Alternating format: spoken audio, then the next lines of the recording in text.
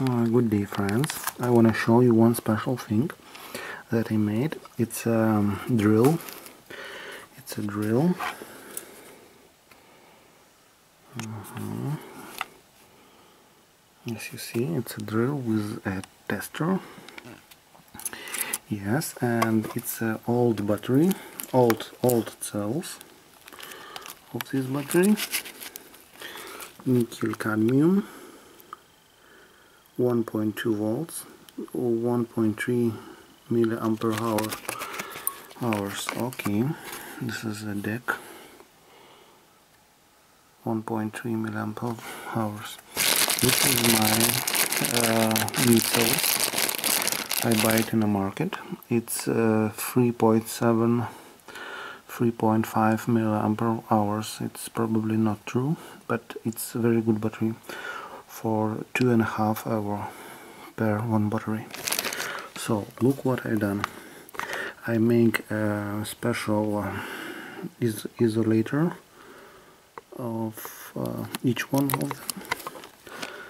And I use it. So as you see and Mm -hmm. Let's try to test it.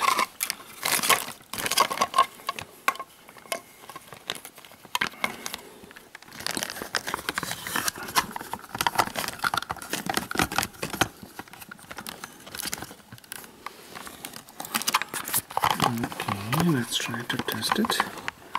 Test. Well, it's about 16%, I think but it's working.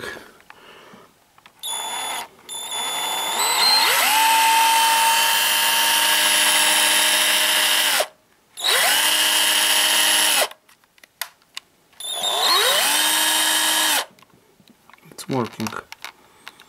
So I made a, a new battery of a drill. I made a new battery.